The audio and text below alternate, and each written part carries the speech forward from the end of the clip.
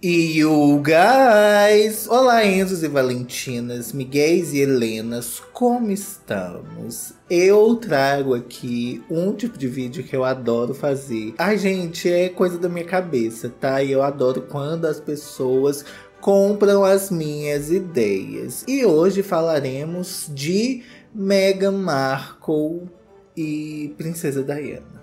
É um tópico sensível, até porque o assunto do vídeo é Miss Copita, em que a gente investiga se uma pessoa está copiando a outra. Será que Meghan Markle realmente tenta imitar a princesa Diana? Será que ela está fazendo isso do jeito correto? É o que vamos descobrir aqui. Muito prazer, eu sou Breno Moreira, sou sommelier de tretas gringas de tutorial que sou arroba Breno Moreiro em todas as redes sociais. Siga todas elas porque elas fazem parte de um ecossistema, você automaticamente se torna um cristal e é com seu brilho que a gente mantém esse ecossistema funcionando. Eu me lembro como se fosse ontem quando saiu a entrevista de Meghan Markle e Príncipe Harry para o programa da Oprah. E algumas pessoas começaram a traçar um paralelo em que Meghan tem uma história de vida muito parecida com a princesa Diana. Mas aí eu te devolvo uma pergunta. Será que é isso que a Meghan quer que a gente pense? Se a gente for analisar como elas entraram para a família real, a Meghan falou que ela conheceu o Harry pelo Instagram, reiterando aquela teoria de que não importa o lugar, tudo pode virar um motivo de pegação, e com a Meguinha não deu outra. Segundo o próprio casal, o Harry falou que viu a Meghan no Instagram de um amigo dele e pediu que esse amigo fizesse a ponte entre os dois. E aí eles trocaram mensagens e o date foi marcado em Londres. Por outro lado, Princesa Diana viu Charles em uma festa em Londres, 1977, quando ela tinha 16 anos de idade. E detalhe que o príncipe Charles namorava com a irmã de Diana, Sarah. E naquele momento, quando ele olhou para Lady Di, que na época não era Lady Di, né, era apenas Diana Spencer, ele achou que ela era engraçadinha. Três anos se passaram, Sarah e Charles terminaram o namoro e o que ele fez foi só pular de uma irmã para outra, porque aí ele engatou um namoro muito sério com Princesa Diana. O mais engraçado nessa história é que a Sarah não guarda nenhum ressentimento pelo namoro da irmã com o ex dela. Pelo contrário, ela ainda se gaba de ter sido culpido dessa relação. Uma coisa que podemos dizer que as duas têm em comum é que elas são fora do meio. Nem tanto, né? Mas Meghan Markle mais, porque ela é americana, atriz e ela se casou com um príncipe, que isso por si só já é uma grande quebra de padrão de tudo. Por mais que isso tenha acontecido recentemente, ainda assim é uma quebra de padrão. Não é que a família real tá uma coisa muito moderna, é uma instituição tradicional. Por outro lado, temos Lady Di, que era fora da realeza, mas nem tanto assim, porque vem de uma família muito privilegiada e de boa origem. Ela quebrou padrões quando decidiu ter uma ocupação comum professora. No quesito quebradora de protocolos, as duas até carregam assim uma certa fama por isso. Mas se a gente for analisar de perto quais protocolos foram quebrados, aí a gente vê que tem uma distância absurda entre as duas. Enquanto que a Lady Di literalmente se curvou por muito tempo para parecer menos alta do que o príncipe Charles, ela inclusive obedeceu os protocolos por muitos anos. Já quando a gente olha o lado da Meguinha, ela ficou 18 meses brincando de princesa. E isso quem falou foi justamente o maquiador e cabeleireiro de Meghan Markle. O mais interessante é que, por mais que a Meghan tenha dito que ela foi muito jogada de escanteio, quando ela entrou para a família real, ela teve apoio de muita gente, a ponto, inclusive, do casamento dela ter sido colocado à frente do casamento de outra neta de Betinha.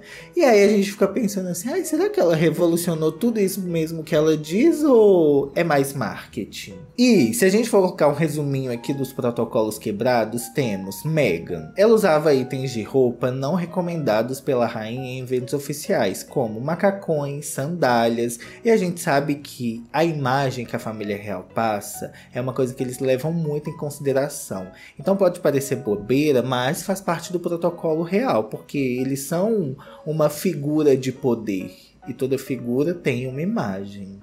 Né? É bom esmiuçar coisas que podem parecer óbvias para ficar tudo muito bem explicado. Ela não fazia questão de usar meia calça e não queria que as damas de honra do seu casamento também usassem, não por uma questão política de protesto nem nada disso, é só por preferência pessoal. Ela usava esmalte preto, que era uma coisa que a família real abomina. Escolhia a dedo os eventos oficiais que deveria comparecer, sendo que faz parte do seu trabalho, né, querida? Você simplesmente tem que ir. Sem se contar que ela, inclusive, chegava atrasada para alguns desses eventos. E sabe quando tem aquele ditado da pontualidade britânica?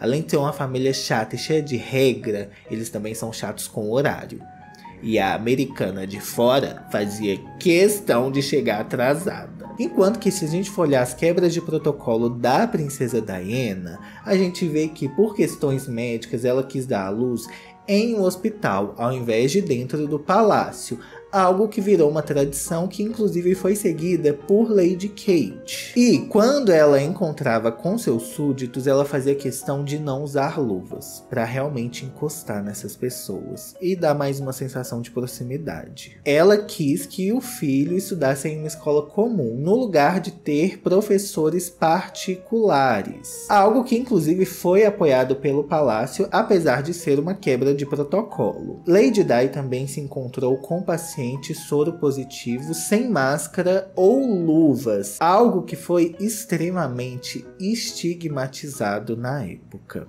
porque a gente está falando de anos atrás, em que o preconceito era muito maior e que as pessoas achavam que a contaminação se dava simplesmente por encostar numa pessoa, sendo que hoje em dia a gente tem informações muito melhores e mais difundidas sobre esse assunto. Se a gente for olhar mais de perto, assim, analisar bem por alto, a gente vê que a Meguinha simplesmente fazia as coisas mais de pirraça, impondo a vontade dela e coisas relacionadas à estética e roupa e etc enquanto que a Lady Di estava preocupada era com o futuro dos filhos ou com o contato com o público. Era muito mais uma preocupação de tipo, ai, ah, eu acho que não deve ser assim. Sempre envolver algo para além dela e não que ela estava olhando só para o próprio umbigo. O que mais me espanta é que a Meghan, antes de entrar para a família real, se envolveu com muitas causas humanitárias, inclusive deu discursos para a ONU. E isso inclusive Inclusive, foi o que ajudou a angariar apoio público para a entrada de Meguinha na família real. Mas quando a gente coloca em perspectiva todos os feitos de Meguinha e todos os feitos de Lady Di, que era inclusive conhecida como princesa do povo,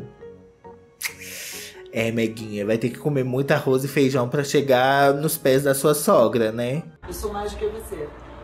Eu sou o que você quer ser um dia. O mais engraçado é que, coincidência ou não, teve até uma tentativa de espelhar os mesmos relacionamentos que a Lady Di tinha dentro da família real. Como, por exemplo, Meghan quis que todo mundo ficasse ciente que ela tinha um relacionamento muito próximo com o príncipe Philip, do mesmo jeito que Lady Di tinha. Se a gente for explorar melhor essa relação, a gente tem que Lady Di era uma amiga próxima do príncipe. Inclusive, foi ele a pessoa a ter o primeiro relacionamento mais próximo com a Lady Di. Eles eram companheiros de caça, tinham uma percepção e o mesmo sentimento em relação a muitas coisas, inclusive sobre como a monarquia deveria se adaptar à mudança dos tempos. Inclusive, o próprio príncipe Philip foi quem lutou para que seus filhos tivessem uma educação mais comum, como por exemplo o príncipe Charles, que estudou em uma escola de meninos, diferente do que acontecia com outros membros da família real. O menino comeu pão que o diabo amassou, mas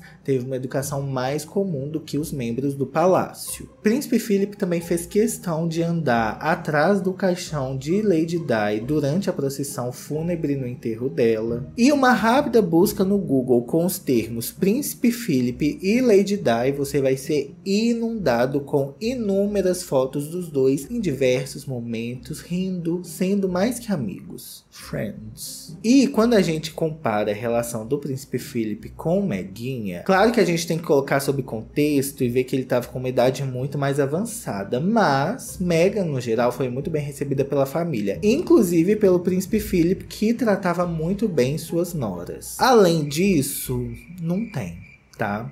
A gente acaba por aqui porque, por mais que ela tente forçar essa barra, essa barra não se desenvolveu mais do que isso. Outro ponto muito importante nessa história são os looks, que Meguinha fazia questão de evocar como se a princesa Diana fosse uma inspiração constante para ela. E isso aconteceu em diversas ocasiões. Temos o look do chapéu com o broche de florzinha, elas grávidas com um casaco muito parecido. Temos elas de vestido vermelho, os chapéus também muito parecidos na mesma ocasião. Temos elas de look parecido no, acho que é Ascot, né? Que é aquele negócio de cavalo. Temos padronagem personagens parecidas, cores parecidas. Eu acho que a Lady Di carrega muito melhor. Mas enfim.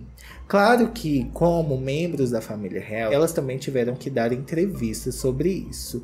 E Meghan Markle não necessariamente estava na família real quando deu essa entrevista, né? Porque falaremos agora da entrevista com a Oprah. E Meguinha fez questão de dizer nessa entrevista com a Oprah que ela não estava sendo paga para dar essa entrevista. Só para você sentir o nível da situação. Sendo que, vamos ser bem sinceros ali, né?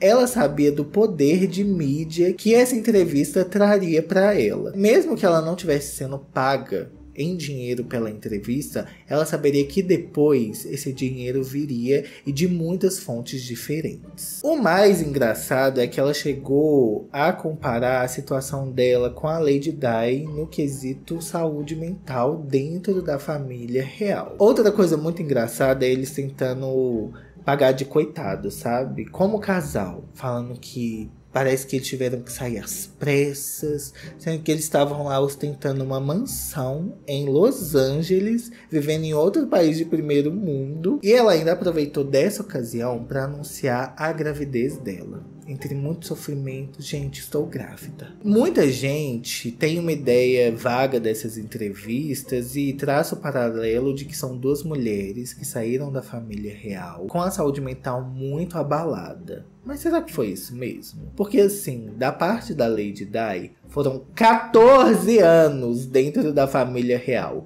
E não poucos anos como Meguinha, que quis antecipar todos os estágios que deveriam durar anos em meses. Sem se contar que a Lady Di comeu o pão que o diabo amassou e guardou tudo isso para si durante anos. E foram problemas de diferentes ordens, a ponto de ela confiar a seu amigo conversa sobre a infidelidade do príncipe Charles, que era um burburinho que estava rolando por toda a Inglaterra. Problemas no casamento e também transtornos alimentares. E o pior é que a entrevista que Lady Di deu aconteceu um ano depois do próprio príncipe Charles ter dado uma entrevista falando sobre sua infidelidade no casamento. E alguns pontos muito importantes que foram abordados nessa entrevista são a infidelidade do príncipe Charles, como a relação minou a saúde mental da princesa. Ela falou abertamente sobre seu transtorno alimentar, como se deu a depressão pós-parto, e é uma coisa muito interessante da gente notar porque ela falou disso em 1996, um assunto que é tabu até os dias de hoje. Você imagina na época como que essa entrevista foi recebida pelo público. Outro fato interessante na entrevista de Meghan Markle para Oprah é que que ela estava usando um bracelete que pertenceu à Lady Di. Tenho para mim que parte da estratégia de construção de imagem de Meghan Markle para essa entrevista foi justamente evocar a mesma compaixão que o público tinha em relação à Lady Di.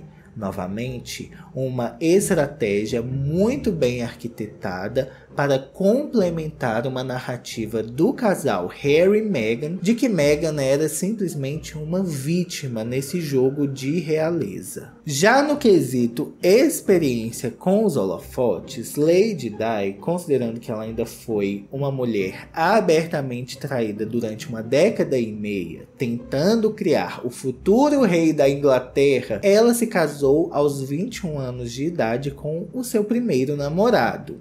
Uma menina que teria uma vida muito simples, tranquila, fora dos holofotes e da mídia se não fosse o casamento dela com um membro da família real que um dia se tornaria o rei da Inglaterra. E enquanto que Meghan Markle estava se casando com o irmão do futuro rei da Inglaterra, e nem em segundo lugar na linha de sucessão ele estava, porque ele ainda estava atrás dos filhos de William. Nesse caso, a Meghan Markle tinha apenas que fazer o trabalho fácil, que era aparecer e sorrir em eventos, sem se contar que, diferente de Lady Di, ela tinha um apoio absurdo do marido, coisa que Charles nunca deu a Diana. E, diferente dos 14 anos de Lady Di dentro da família real, a trajetória de Meghan Markle conta com 18 meses dentro da firma. Sem se contar que Diana entrou nesse circo muito jovem, enquanto que Meghan Markle já era uma mulher vivida, no auge da sua experiência de vida, com seus 38 anos, que já tinha um relacionamento, já tinha se divorciado, fez, tentou fazer pelo menos, né, com uma carreira mais humilde dela em Hollywood, diferente da Lady Di, que era apenas uma jovem sendo inundada por todos os estímulos da família real. E a Meghan Markle teve a pachorra de dizer que nunca tinha ouvido falar em família real, sendo que tem fotos dela na frente do palácio. Ô, gente, nossa, como que consegue ser mau caráter nesse nível?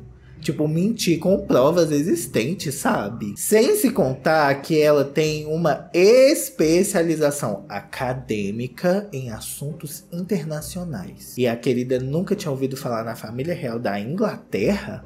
Em que os Estados Unidos foi colônia desse mesmo país por anos? Te manca, Meghan Markle! E eu tenho para mim que a Meghan Markle já entrou na família real esperando uma certa reação do público no quesito midiático, sabe? E aí é nessas e outras que eu acho que por trajetórias muito distintas, como a gente pode ver aqui, dela e da princesa Diana, que na verdade ela não se compara a Diana. E por mais que ela tenha tentado forçar muito, sem se contar as coisas que o príncipe Harry diz em relação a Meghan, dela ser muito parecida com a mãe.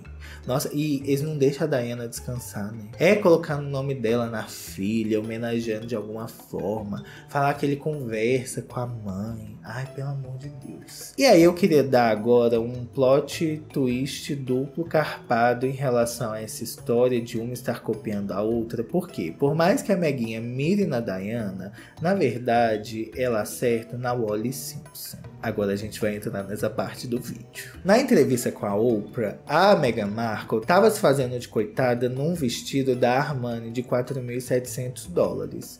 Mas por que exatamente? Esse momento é que a gente dá o duplo twist carpado, porque na verdade esse vestido que a Megan estava usando é muito parecido com o look de Wally Simpson, usado em 1936. E o que que isso tem a ver? Tudo, meu cristal. Wallace também foi duquesa, duquesa de Windsor, título que ela conseguiu quando ela se casou com ex-rei Edward VIII. E eu digo ex-rei rei porque ele abdicou do trono para se casar com sua amada. Wallace também, assim como Meghan, era uma americana, uma socialite, e já tinha se casado duas vezes. Lembrando que na época era uma mulher divorciada americana em um relacionamento com o futuro rei da Inglaterra. Isso se foi um escândalo recentemente, claro que na época seria um escândalo maior ainda. E para acrescentar uma camada ainda maior de polêmica, os dois ex-maridos ainda estavam vivos.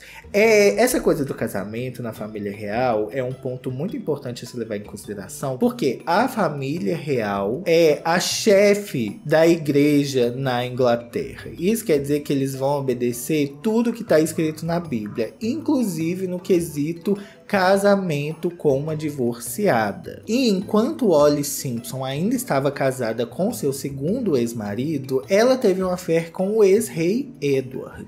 E quando ele assumiu o trono em janeiro de 1936, ela largou tudo para ficar com Edward. Você deve estar se perguntando assim, tá, Breno, mas como é que eles iam se casar se não tinha uma brecha na família real para que eles pudessem fazer isso? Pois bem, por amor, ele foi lá lá e abdicou do seu lugar na família real. E aí ele voltou a ser apenas um príncipe e se casou com Wally Simpson. E quem acabou assumindo esse lugar de rei foi Albert, o pai de Bettinha. Olha aí, né? Se a gente for analisar uma americana, atriz, divorciada, se casando com um membro da família real, que abdicou do seu lugar para viver esse casamento. Como que a Meguinha tem a história de vida parecida com a Diana. Hã? Outra coisa é que o Wally Simpson e o ex-rei Edward foram proibidos de morar na Inglaterra. Sendo assim, eles se mudaram para a França. E o mais engraçado é que ainda assim receberam o título de duque e duquesa de Windsor. Assim como o príncipe Harry e Meghan Markle receberam o título de duques de Sussex. E o ex-rei Edward só voltou na Inglaterra para comparecer ao velório do irmão, enquanto que sua esposa não fez questão de comparecer. Sobre a abdicação dele, abre aspas, tornou-se impossível suportar o pesado fardo da responsabilidade e cumprir meus deveres como rei, da maneira que gostaria de fazê-lo, sem a ajuda e o apoio da mulher que amo. Nessas horas, o que mais me deixa encucado é Mega Marco. Como, no auge da sua experiência de vida, você quer me dizer que nunca, nunca estudou a história da família real? sendo que você estava entrando para ela. Os paralelos entre as duas são enormes, sem se contar o assédio da mídia, né?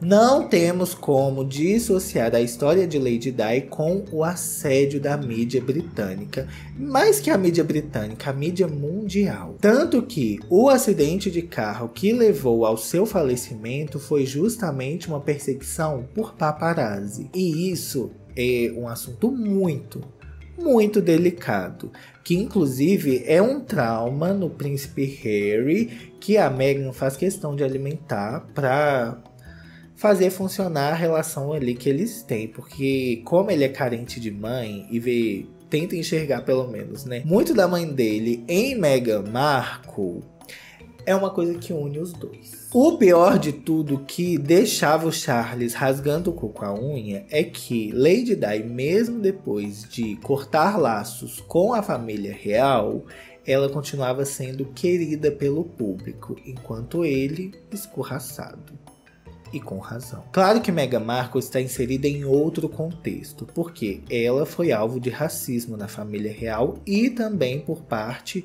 do público. Teve também a história do questionamento sobre qual seria a cor de pele do filho que ela teria com o príncipe Harry e a constante comparação com Kate Middleton. Mas assim, comparar com a Lady Di, a gente já vê que é forçar a barra demais. No quesito aprovação popular, quando a gente coloca em perspectiva a aprovação de Meghan Markle no início, quando ela entrou para a família real, antes de abdicar do papel dela na família, e a gente coloca em perspectiva com o tratamento que Lady Di recebia do público, a gente vê que assim, não é que todo mundo tinha que gostar de graça da Meghan Markle. Lady Di trabalhou muito, mesmo que inconscientemente, para aprovação do público. Não é à toa que ela foi conhecida pelo título de princesa do povo, né? São as pessoas que deram a ela. Não foi ela mesma que deu a si esse título. Coisa que eu acho que a Meghan Markle tava querendo forçar, entendeu? Como ela não teve um tempo de maturação ali dentro da família real, principalmente no quesito percepção com o público, quando ela saiu, nossa, a aprovação foi lá embaixo. E, diferente de Lady Di, Meghan Markle contou com os recursos que temos atualmente para, inclusive, processar os tabloides britânicos, que realmente pegam muito pesado. Os tabloides pediram desculpas em uma publicação de primeira página e tiveram que pagar cerca de 62 mil dólares por invasão de privacidade, violação dos direitos de proteção de dados e violação de direitos autorais, por imprimir extratos do que seus advogados descrevem como uma carta privada e confidencial enviada a seu pai, Thomas Markle, em agosto de 2018. E para bater o martelo de Miss Copita nesse vídeo, podemos concluir que, por mais que Meghan Markle estava mirando em Lady Di, na verdade ela estava copiando era a história de Wally Simpson, que está em outro extremo se a gente for colocar em comparação Lady Di e Wally Simpson. Ou você acha que Meghan Markle Markle seria uma combinação das duas. E sobre o casamento de Meghan e Harry, você acha que ainda dura mais tempo? Tivemos aí alguns boatos de divórcio, mas a história foi abafada. Será que um dia realmente o Harry volta para o Reino Unido, acompanhado ou não? E vamos deixar a Diana descansar, né? Por favor. Acho inclusive que Meghan Markle, se tivesse sido inteligente o suficiente, poderia sim próximo do título de Princesa do Povo, como foi com Diana, porque era uma mulher que estava entrando na família real, uma mulher negra que estaria trazendo representatividade e diversidade para a família real mas resolveu bancar rebelde sem causa aparente e deu no que deu, né? Eu acho que ela só queria fama sem precisar trabalhar para receber essa fama, porque fama não vem de graça e muito menos é comprada, viu, Meghan Markle? Cristal, muito obrigado pela sua companhia. Quero saber das suas opiniões nos comentários. Muito obrigado aos cristais membros e te espero no próximo vídeo, neném.